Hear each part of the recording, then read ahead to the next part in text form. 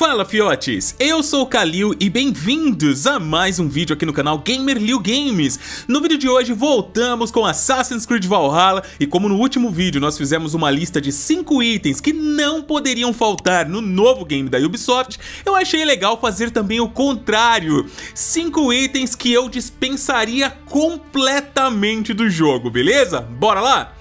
O primeiro deles, é claro, seria a microtransação. Cara, já não é de hoje que a Ubisoft é muito criticada pela quantidade de itens a serem vendidos na loja de uma maneira que você é sim, você é obrigado a injetar dinheiro, né? Eu entendo que eles até colocam alguns itens, por exemplo, como trajes, armas, para você, entre aspas, tentar sorte, né? Como foi no Sargon. Mas convenhamos, vai. Caso você tenha conseguido um traje completo ali com armas, montaria, tudo completinho, quanto tempo isso levou? E isso, né, se você conseguiu, né? Poucas pessoas conseguiram completar um set inteiro ali. É difícil, mas o pior não é isso, né? O problema maior tem sido aí coisas como boost, né? Bust, enfim, não sei como eu falo isso direito, de dracmas e XP. Eu também entendo que por ser um game single player, cada um faz com ele o que quiser. Tudo bem, não vamos julgar. Pior seria um multiplayer, né? Eu super entendo. Mas por esse tipo de coisa, mas por, né, esse tipo de coisa no jogo, ao meu ver, né, é focar aí o usuário a não desfrutar do game que você passou anos fazendo para que ele desfrute do jeito certo. Para que explorar tudo se você pode ganhar aí XP ou mesmo dinheiro rapidamente em pouco tempo, né? Mano, não faz muito sentido. A gente sabe que não teremos níveis de XP no próximo jogo, pelo menos é o que os diretores têm falado, mas alguma coisa relacionada a isso vai existir e é bem provável que a Ubisoft coloque na loja também para você ir lá e comprar. Os trajes são legais pra caramba, mas muito caros. Em Odyssey, galera, eu comprei todos eles para que pudesse, né, fazer aqui o meu conteúdo, mostrar a vocês com detalhes cada um deles, para então sim vocês conseguissem decidir se iriam ou não injetar dinheiro. Velho, eu quase fali é, foi muita coisa. Eu prefiro, né, que, é, que os trajes legais eles estejam todos nos jogos. Que a Ubisoft ela nos entregue muitos enigmas e segredos que, revelando, consigamos aí obter como recompensa trajes bem legais. E claro, nada viajado, tá, Ubi? Nos entregue aí trajes mais pé no chão, talvez algo mais voltado ao mundo viking em si, ao credo e talvez aí um meio termo entre esses dois mundos. Seria bem legal. Enfim, se quer colocar coisas na loja, que sejam vendidos por itens que você consegue no game de forma infinita se você se empenhar bastante, manja? Os Helix mesmo, por exemplo, você até consegue no jogo, mas nunca uma quantidade suficiente para você obter com eles tudo o que a loja tem. Chega um certo momento que obrigatoriamente, cara, você vai ter que injetar dinheiro. Eu entendo também que a Ubisoft é uma empresa, ela precisa ganhar de um jeito ou de outro, mas cara, Olha a versão Ultimate desse game no valor aqui do Brasil que já tá sendo disponível pra galera. 400 pau, bicho! Pô, 400 reais. E depois ficar colocando em loja somente as coisas para que a galera vá lá injetar dinheiro é complicado, né, meu? Será que não dá pra ganhar, pra ganhar só no game? Dá, né? Mitologia em excesso.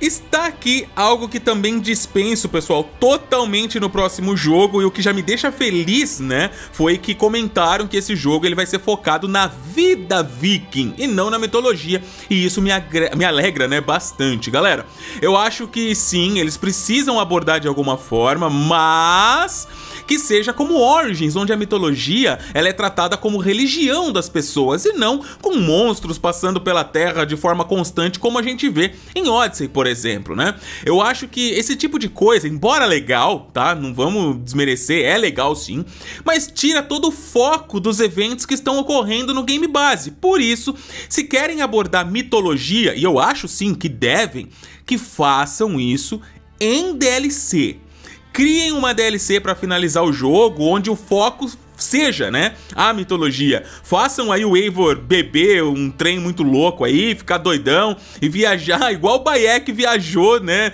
totalmente lutando com aquela serpente gigante lá em Origins, vocês se lembram? Isso eu aceito, tipo, super de boa. Que o jogo base, ele seja mesmo, como os diretores falaram, voltado a acontecimentos históricos.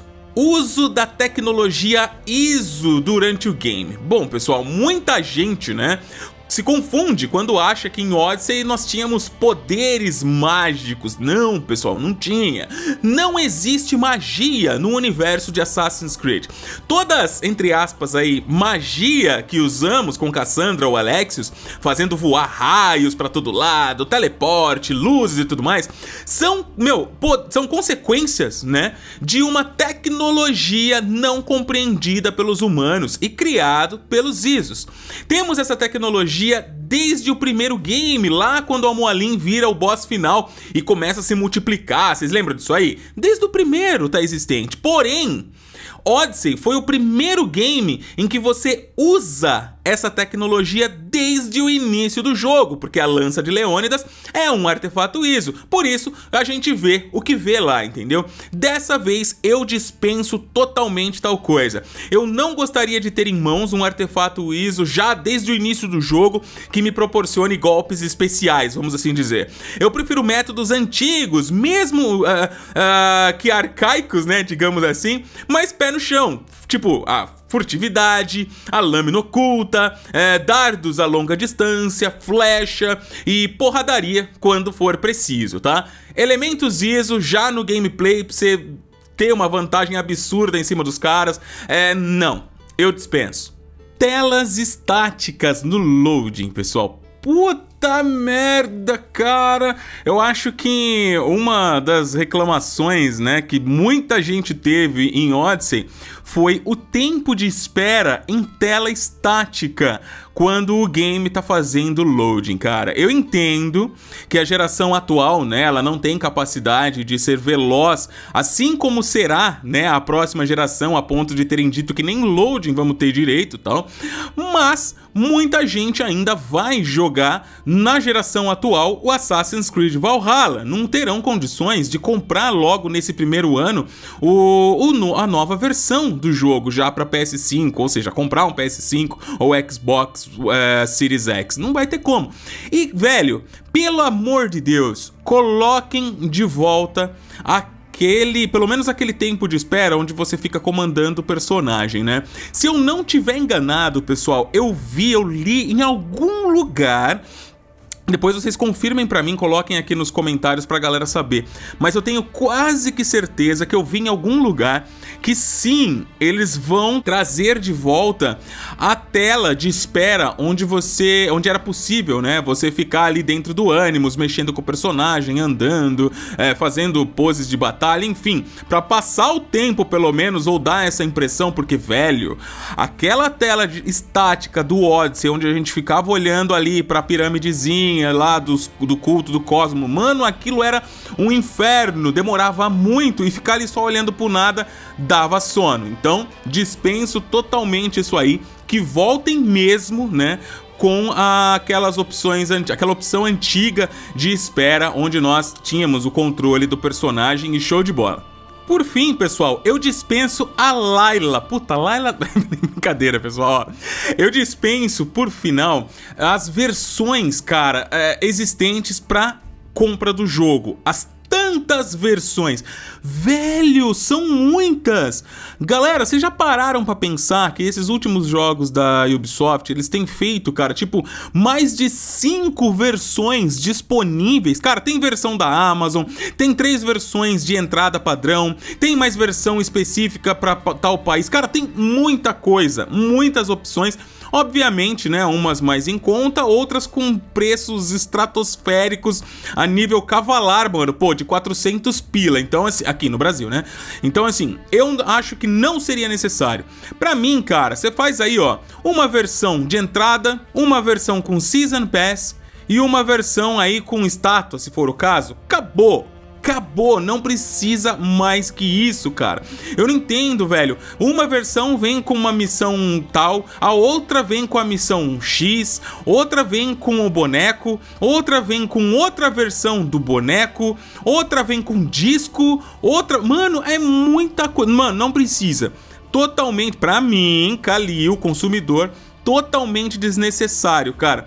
E aí, claro, né, se você quiser ter os itens da versão melhor, você vai ter que injetar dinheiro na loja. Então não, mano, já faz três versão básica aí que pra mim tá show. Não há necessidade de colocar cinco, seis, sete versões de um único jogo, cara. Na moral, três padrõezinhas pro mundo inteiro, fechou, estouro. Galera, mas isso que eu tô falando aqui é a minha opinião pessoal, tá? É óbvio que assim como no vídeo de coisas assim que nós gostaríamos de ter, né? Aqui em coisas que dispensamos, vocês também, né, vão ter a isso a opinião diferente da minha. Então não se esqueçam de colocar aqui nos comentários o que vocês acham, qual ponto você concorda, qual ponto você não concorda, o que você não, cara, não faria questão de ter no próximo ou nos próximos games da franquia Assassin's Creed. Coloca aqui, vamos debater, vamos trocar uma ideia, vai ser da hora também, assim como no último vídeo, beleza? Pessoal, Quero deixar aqui o convite para que todos participem de nossas lives lá na outra plataforma, tá? Que acontecem de terça e sexta-feira às 19 horas. Não se esqueçam também, ah, lembrando que o link, tá? Tá aqui embaixo no comentário fixado, beleza? Não se esqueçam de me seguir nas redes sociais, principalmente lá no Twitter onde eu sou mais ativo. Quer aprender sobre a lore da franquia Assassin's Creed? Tá aqui a página Assassin's Creed Brasil, a CBR tá te esperando, beleza? A comunidade do Amino também e o grupo do Telegram. Todos os links na descrição. Um forte abraço, tudo de bom, fiquem com Deus, até o próximo vídeo. Valeu!